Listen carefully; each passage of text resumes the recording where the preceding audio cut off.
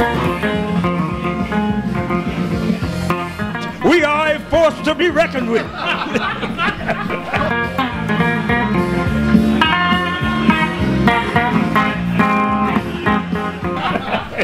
Can I get a witness?